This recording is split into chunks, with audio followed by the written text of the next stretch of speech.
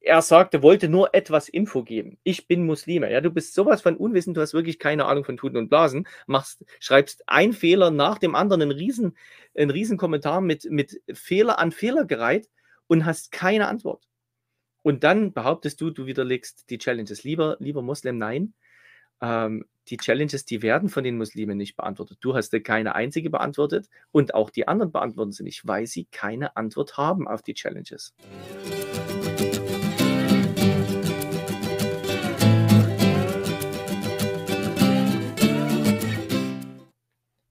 Und dann kommt ein Moslem und widerlegt alle Challenges vom Klaus. Ich habe ja dieses Video, das Schweigen der Muslime, wo ich ähm, und auch und äh, ja und auch ein Livestream, also es gibt ein Livestream, ein Video davon, ähm, ein Livestream-Ausschnitt sozusagen, wo ich einen Haufen Challenges bringe. Und stellt euch mal vor, wieder der Katschber Attila, das ist ein echt lustiger Geselle, scheint. Ja, jedenfalls, der widerlegt alle meine Challenges. Passt mal auf, wie er es macht alle Challenges mit einer Antwort widerlegt. Die Bibel und Torah gehörten den Muslimen. Äh, jetzt frage ich mich, und ich zeige dir dann gleich ein paar von den Challenges, wie das auch nur eine Challenge, äh, Challenge beantwortet. Und dann sagt er weiter, im, äh, in BC-Jahrhundert, äh, 200 BC-Jahrhundert, also damit meint er vermutlich 200 vor, vor Jesus, BC heißt, ne, before Christ, vor Jesus, als Christ oder Jude wärst du jemand, der an Allah glaubt. Äh, Moment. Vor Jesus wäre ich als Christ, also vor Jesus gab es mal gar keine Christen. Okay, also so mal, um jetzt mal deine grundlegenden Fehler schon mal zu zeigen. Und wegen die Griechen und Römern Könige wurde die Bibel und Torah verändert. Hm. Oh Mann. Ich, ich weiß gar nicht, wo, wo man mit den Fehlern anfangen, anfangen soll äh, davon abgesehen, dass die gar nicht verändert wurde, dann guck dir halt die frühesten Handschriften an. Dann guck dir halt die Handschriften an, die äh, eben von 200 vor Christus zum Beispiel stammen, von der Tora. Bibelhandschriften, kleiner Tipp, gab es damals noch gar nicht. Und dann heißt es weiter, die erste Religion war Islam. Und durch Islam haben sich eine Menge Sekten und Religionen gebildet. Zum Beispiel Christentum, Judentum und Buddhismus au Backe. Ähm, also, dass sich, dass sich durch den Islam viele Sekten gebildet haben, okay. Aber ich sag mal, Buddhismus gab es wirklich schon früher als den Islam. Das kannst du jetzt nicht noch dem Islam anheften. Also der Islam hat vieles falsch gemacht, aber nicht noch den Buddhismus. Ein Beweis ist im Bibel steht mal die Name des Religion drin, nicht mal die Name des Religion drin. Selbst heute noch steht in der Bibel nicht Christentum. Dann gucken wir gleich mal, was da steht oder nicht steht. Noch ein Beweis, und davon abgesehen, äh, was sagt das über, über die Challenges, die ich mache, ähm, ob da in der Bibel das Wort Christentum steht oder nicht steht. Das ist ein Non sequitur, ein, ein logischer Fehlschluss.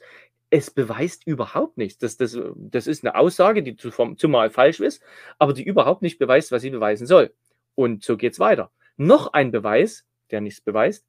In der Bibel wird über den Mohammed gesprochen. Dann bitte zeig mir wo.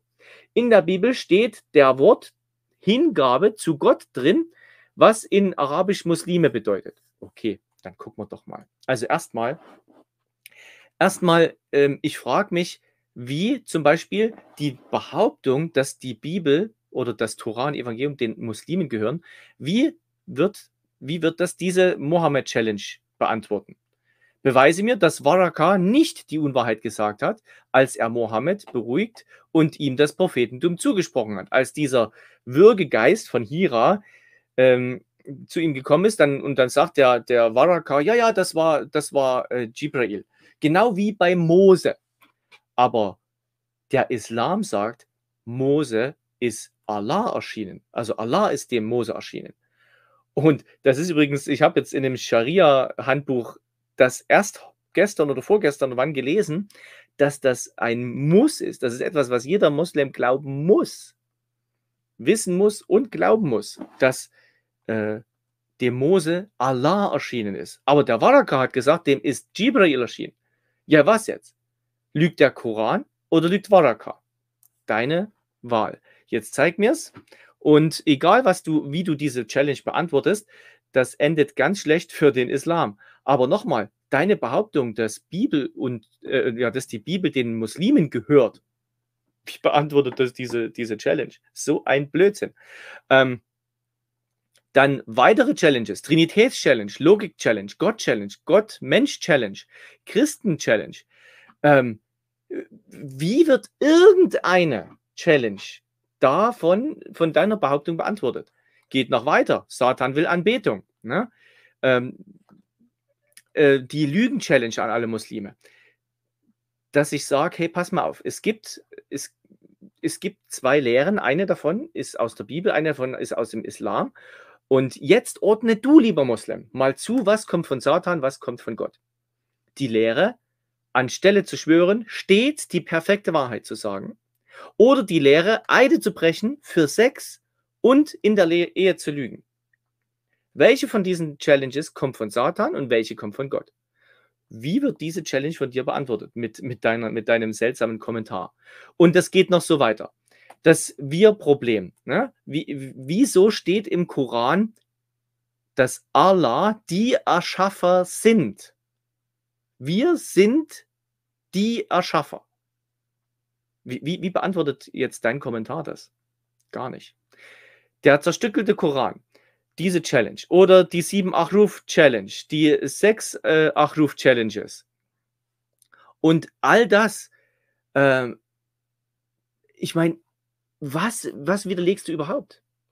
Meine Frage, die ich da noch geschrieben habe, wann genau und wo genau soll denn diese Verfälschung geschehen sein? Was kommt als Antwort? Auf der Erde. Hm. Ich meine, da kommt da natürlich nichts. Das sind alles bloße Behauptungen, das sind Dinge, die dir irgendwie. Und deshalb meine Challenge an dich, die auch was mit dem zu tun hat, was du gerade gesagt hast. Wer war der erste Muslim? Du hast gesagt, dass, ähm, dass die Muslime im Prinzip ja schon die Juden und die Christen, die waren eigentlich Muslime, die waren Juden, die waren Christen. Und im Koran steht tatsächlich, Ibrahim war weder Jude noch Christ, sondern er war Anhänger des rechten Glaubens. Einer, der sich Allah ergeben hat, da steht Muslim. Und äh, gehörte nicht zu den Götzendienern. Also das scheint dich ja zu bestätigen. Aber pass mal auf, dann heißt äh, was ganz ähnliches über, über Isa. Isa sei auch ein Moslem gewesen. Und dann kommt Mohammed und sagt, dies ist mir befohlen worden und ich bin der Erste der ihm Ergebenen, der erste Muslim. Mohammed sagt, ich bin der erste Muslim. Ja, was jetzt? Challenge an dich. Wer war der erste Muslim? So wie du es behauptest und wie der Koran das behauptet, dass äh, Abraham schon Muslim war ähm, oder dass Mohammed der erste Muslim war.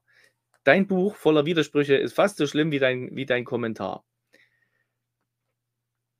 Und dann hast du behauptet, in der Bibel steht Hingabe. Ich habe einfach mal spaßeshalber äh, in, in Logos, in, die, ins, äh, in meine Bibelsoftware, das Wort Hingabe eingetippt und habe mal geguckt, wie oft das Wort drin steht.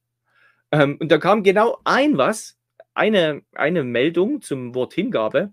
Und du nahmst deine Söhne und deine Töchter, die du mir, die du mir geboren, und opferst sie in ihnen zum Fraß, den falschen Götzen war es, also da wird gesagt, dass das Volk Israel Kinder geopfert hat. War es zu wenig mit deiner Hurerei, das heißt im Götzendienst, dass du meine Söhne schlachtest und sie hingabst? Das ist die, das einzige Vorkommen von Hingabe, was, was ich äh, gefunden habe in, in, äh, mit der Logos-Suchmaschine. Indem du sie für sie durch das Feuer gehen ließest, also indem du die Kinder verbrannt hast.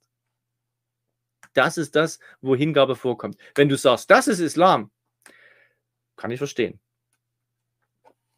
Und dann sagst du, Christentum kommt nicht vor. Das Wort Christentum, ich meine, Christentum ist auch ein abstraktes Wort, das kommt so tatsächlich nicht vor. Die Frage ist, komm, äh, kommt das vor, dass die, dass die Leute Christen sind? Ähm, ich meine, nicht das. Guck mal doch mal. Da, da steht dreimal steht das Wort Christen in der Bibel. Einmal, wo sie zuerst und wann sie zuerst so genannt worden sind. Dann, äh, wo Paulus gesagt hat, äh, wo Paulus gesagt worden ist, hey, du überredest mich, ich wär, äh, dass ich noch Christ wäre. Und dann, dass Christen leiden werden. Und du sagst, das steht nicht drin. Du hast wirklich so gar keine Ahnung, dass es schon richtig wehtut. Also nochmal die Challenge an dich, wo genau steht Mohammed in der Bibel?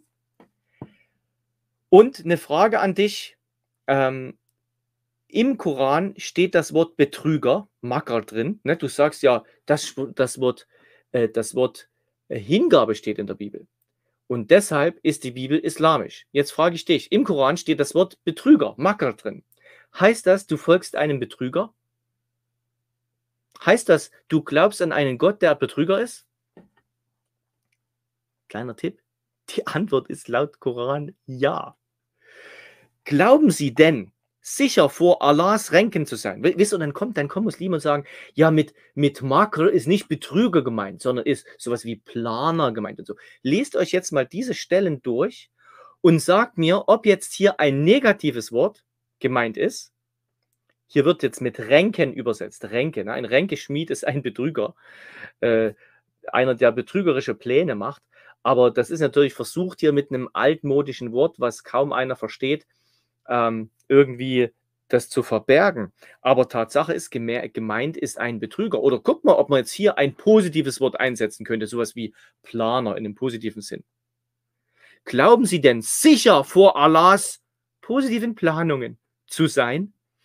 Wer aber vor Allahs positiven Planungen sicher zu sein glaubt, nur das Volk derjenigen, die Verlierer sind. Jetzt lesen wir das Ganze nochmal mit Betrug. Glauben Sie denn sicher vor Allahs Betrügen, Betrügereien zu sein?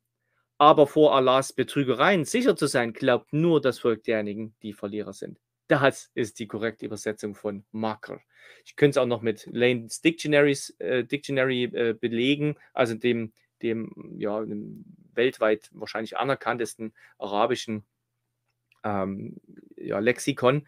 Das bestätigt das, dass es Betrüger heißt aber das habe ich jetzt mal nicht mit reingenommen.